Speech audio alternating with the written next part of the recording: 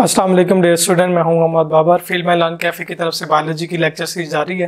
तो आज हम स्टार्ट करने वाले हैं एक नया topic osmoregulation in plant तो प्रीवियस लेक्चर्स में हमने ऑस्मो रेगुलेशन के बारे में पढ़ा था कि वो क्या है। तो बॉडी के अंदर सॉल्ट और वाटर की कंसनट्रेशन को क्या करना मेंटेन करना ऑस्मो रेगुलेशन है। अब हमने ये देखना कि प्लांट कैसे जो है अपने बॉडी के अंदर ऑस्मो रेगुलेशन करते हैं। तो ऑस्मो रेगुलेशन के भी मैंने आपको डेफिनेशन बताई है कि ऑस्मो रेगुलेशन क्या है। प्लांट जो है बेसिकली तीन डिवीजन्स में, तीन डिवीजन्स में डिवाइड है, यानी तीन इन्वायरमेंट में डिवाइड है, जहाँ पर वो रहता है, तीन इन्वायरमेंट है। एक ऐसी इन्वायरमेंट है जो बिल्कुल वाटर की अवेलेबिलिटी है वहाँ पे वाटर की कोई कमी नहीं उसके अंदर प्लांट रहता है।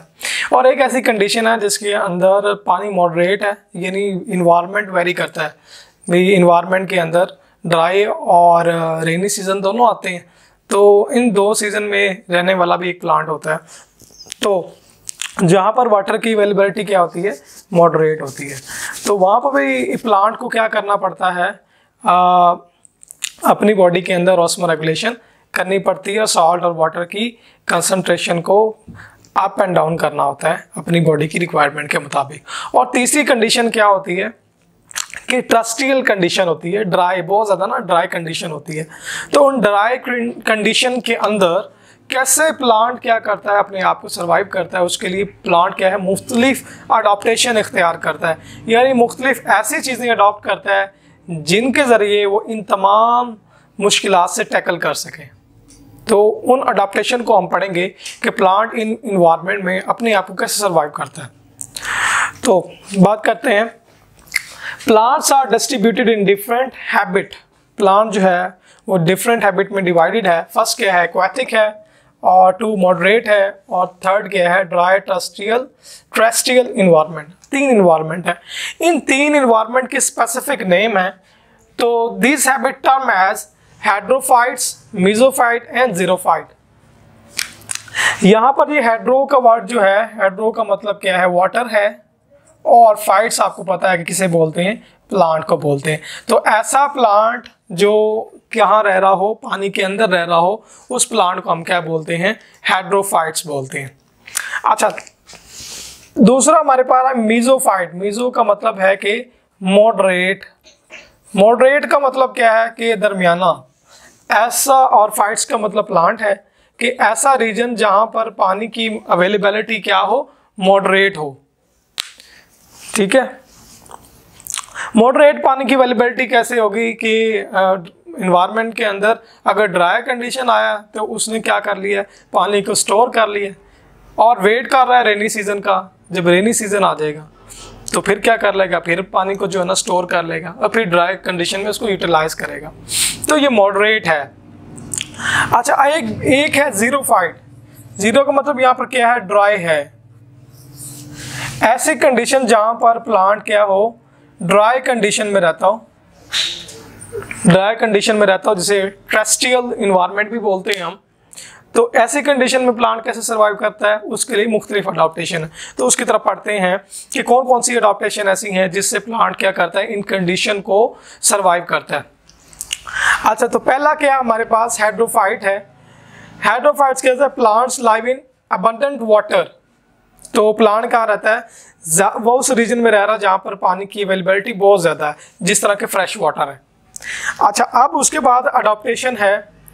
अब इसने क्या कौन कौन सी अडोप्टेशन की हैं, क्या चीज़ें अडॉप्ट की हैं, जिससे जो है इन्वायरमेंट में सर्वाइव कर रहा है। देखें, ये यहाँ पे इर्द गिर्द क्या है, सारा वाटर ही वाटर और दरमियान में एक जो है ना, एक प्लांट है। दरमियान में एक प्लांट है। तो वो प्लांट पानी के अंदर रह रहा है, लेकिन अब उसको किस चीज़ से अवॉइड करना है? पानी से अवॉइड करना है, कि ज़्यादा पानी उसके लिए क्या है? हार्मफुल है। ठीक है? उससे क्या करना है? अगर इस पौधे को लगातार क्या करना है? अपनी बॉडी से वाटर को बाहर निकालना है। अपनी बॉडी से वाटर को क्या करना है?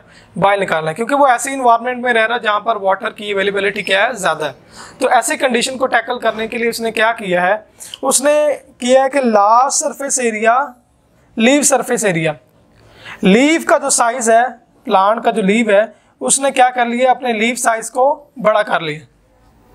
अगर उसने अपने लीव साइज़ को बड़ा किया है तो उसके ऊपर नंबर ऑफ़ स्टोमेटा भी क्या होंगे? ज़्यादा होंगे। अगर लीव बड़ा होगा तो उसके ऊपर क्या होगा? नंबर ऑफ़ स्टोमेटा भी ज़्यादा होंगे। जब नंबर ऑफ़ स्टोमेटा ज़्यादा होंगे लार्ज सरफेस एरिया होगा तो पानी जो है लीव से इजीली क्या हो जाएगा? बाहर आता रहेगा, जिससे इस प्लांट को प्रॉब्लम नहीं होगी, ज़्यादा पानी होने की वजह से। तो ये प्लांट क्या करेगा? जितना इसको पानी चाहिए, उतना ही अपने अंदर रखेगा और एक्स्ट्रा को स्टोमेटा के ज़रिए बाहर निकाल देगा। ठीक है? अच्छा जो है, अब स्टोमेटा जो है, इस लीव की अपर सरफेस पे है। अपर सरफेस मतलब सबसे ऊपर वाली सरफेस पे है और इन्वायरमेंट को ज़्यादा शो कर रहे हैं। ठीक है? यानी इन्वायरमेंट की तरफ़ स्टोमेटा ने क्या कर लिया? फेस कर लिया। यूजुअली जो स्टोमेटा होते हैं, वो लीव के नीचे होते हैं। लोअर सरफेस पे होते हैं लीव की। बट यहाँ पर उनकी, इन्होंने क्या अडाप्टेशन अडॉप्ट की है कि जितने भी स्टोमेटा हैं, उनको अपनी लोअर सरफेस पे ले हैं। और जिससे क्या हो रहा है वाटर इजीली रिमूव हो रहा है, ताकि कोई परेशानी ना हो, आराम से जो है ना, ज़्यादा वाटर को बॉडी से बाहर निकाल दें। अच्छा उसके बाद हमारे पास है मीजोफाइट अब ये वो वाली प्लांट है जो मॉडरेट रीजन में रहते हैं, जहाँ पर अवेलेबिलिटी ऑफ़ वाटर क्या है? कम या ज़्यादा होती रहती है। ठीक है? तो वो जहाँ पर दो कंडीशन है हमारे पास। एक है सफिशियंट सप्लाई सफिशियंट सप्लाई अगर पानी की क्या है ज़्यादा है, पानी उसको मिल रहा है तो वो क्या करेगा? स्टोमेटा को ओपन कर देगा। स्टोमेटा को क्या कर देगा? ओपन कर देगा ताकि वाटर क्या हो लॉस हो जाए। अच्छा जब उसको कंडीशन मिलती है रिस्ट्रिक्टेड मैंने आपको पहले भी बताया कि इन जो मॉडरेट रीजन वाले प्लांट होते हैं, उनको क्या रहता है? कभी कम या ज़्यादा पानी का सामना करना पड़, करना पड़ता है। तो फिर दो कंडीशन उसने बताई हैं, दो अडाप्टेशन तो सफिशिएंट सप्लाई में क्या होता है? स्टोमेटा को ओपन कर देता है वाटर को लॉस होने देता है। जबकि रिस्ट्रिक्टेड सप्लाई जब पानी की सप्लाई बहुत कम होती है तो क्या करता है? स्टोमेटा को क्लोज कर देता है। वाटर लॉस से बचने के लिए। अगर वाटर एक प्लांट ऐसे कंडीशन में अगर प्लांट रह रहा हो कि उसकी इर्द गिर्द ड्राई कंडीशन हो, अगर वो वाटर को ही नहीं बचाएगा तो फिर वो क्या करेगा? फोटोसेंथिसिस कैसे करेगा? कैसे अपने जो है ना, वो वर्क परफॉर्म करेगा? तो पानी तो आपको पता है कि हर जानदार के लिए, हर प्लांट के लिए क्या है? ज़रूरी है।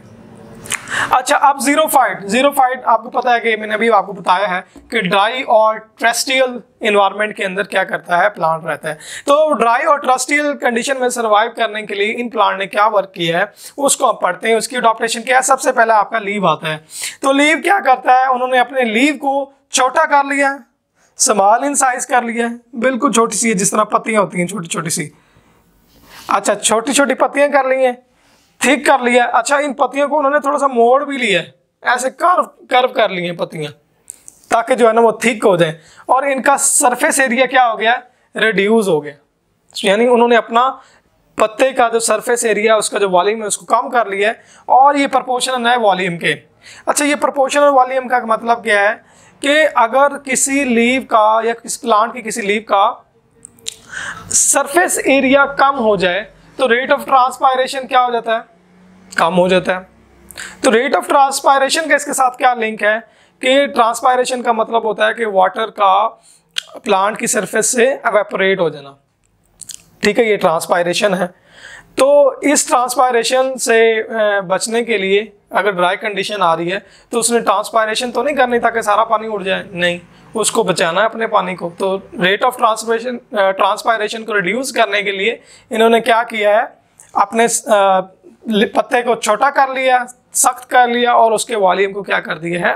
कम कर दिया तो जिस तरह मैंने अभी आपको हाइड्रोफाइट्स में बताया कि लीव ने क्या किया था, अपने सरफेस एरिया को बड़ा कर लिया था, क्योंकि वो वाटर के अंदर रह रहा था। तो उससे क्या हो रहा था वाटर लॉस को इजीली उसके लिए निकालना बहुत इजी हो गया था। लेकिन यहाँ पर अगर हम बात करें इसकी ड्राई कंडीशन में लीव की तो उसने सरफेस एरिया कम कर लिए तो ट्रांसपायरेशन का रेट क्या हो गया? इंतहाई कम हो गया। इवन के कुछ तो ऐसे करते हैं कि इन्होंने क्या करना होता है लीव ने फोटोसिंथेसिस करनी होती है ताकि प्लांट की फ़ूड वगैरह बने।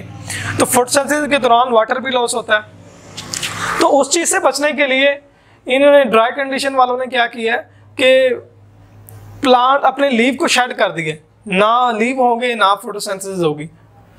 तो फोटोसेंसिस के लिए उन्होंने अपने स्टेम को बना लिया कि ये मेरा स्टेम जो है, अब वो उसकी लीव की जगह उसका स्टेम वर्क कर रहे हैं कि उसकी फोटोसेंसिस के लिए। अच्छा। अच्छा क्यूटिकल लीव की सरफेस के ऊपर, ये लीव है लीव की सरफेस के ऊपर एक लेयर होती है उस लेयर का नाम क्या है? क्यूटिकल है। ये क्यूटिकल क्या करती है? ये क्यूटिकल थिक होती है वैक्सी होती है और लेदरी होती है। वैक्सी का मतलब मोमदार होती है थिक का मतलब थोड़ी जो है ना गहरी होती है और लेदरी लेदरी इसलिए यहाँ पर वर्ड यूज़ किया गया है क्योंकि इसका मतलब है कि यहाँ पे सम सॉर्ट ऑफ़ लेदर नहीं है। इसका मतलब ये कि जिस तरह लेदर पिछले ज़माने में क्या किया जाता था, चमड़े को यूज़ किया जाता था पानी को स्टोर करने के लिए, जिसको मशकीज़ा भी कहते हैं। तो ये ऐसी लेदरी लेयर बनाता है उसके ऊपर कि जिससे पानी जो है वो लॉस नहीं हो पाता। तो ये क्रिटिकल का ये वर्क है। अच्छा उसके बाद स्टोमेटा तो इन्होंने स्टोमेटा अपनी लीफ की लोअर सरफेस पर क्या कर दिए? पहुँचा दिए। ताकि ये इन्वायरमेंट से जितना दूर होंगे, वो क्या होगा? ट्रांसपायरेशन उतनी कम होगी। अच्छा उसके बाद है बुक में आपकी एग्जांपल दी गई है ड्राई कंडीशन में सरवाइव करने वाले प्लांट की एक है कैक्टाई तो कैक्टाई क्या करता है? ड्राइएस्ट सीज़न में, जैसे ही उसको ड्राइएस्ट सीज़न मिलता है, खुश्क सीज़न मिलता है तो वो क्या कर देता है? शेड कर देता है अपने लीव्स को. अपने लीव्स को क्या कर देता है? शेड कर देता है ताकि जो है ना, उसको फोटोसेंसिस परफॉर्म करने के लिए ज़रूरत ना पड़े. वो, उसका काम कौन कर रहा है? उसका काम उसके स्टेम कर रहे हैं. ठीक है? तो अब उसका क्या है? फोटोसेंटिक फ़ोटो सिंथेटिक जो ऑर्गन है, वो क्या बन गया है? स्टेम बन गया। अब वो स्टेम से ही फोटोसिंथेसिस कर रहा है। लीव को उसने शेड कर दिया है, क्योंकि लीव से ज़्यादा ट्रांसपायरेशन के चांसेस है बनस्बत स्टेम के। अच्छा तो ड्राइएस्ट सीज़न में एक और ये काम करता है कि रेनी सीज़न में जो वाटर इसने स्टोर किया होता है स्टेम के अंदर, उसको यूटिलाइज करता है और ड्राई कंडीशन के अंदर सर्वाइव करने की कोशिश करता है। जैसे ही रेनी सीज़न दोबारा आता है, फिर वो पानी को स्टोर कर लेता है और फिर जैसे ड्राई कंडीशन आता है, उसके अंदर यूटिलाइज करता है। तो डे स्टूडेंट ये था आज का लेक्चर ऑफल के आपको ये समझ आया होगा। तो मिलते हैं नेक्स्ट लेक्चर में. आप तक के लिए अल्लाह हाफिज़।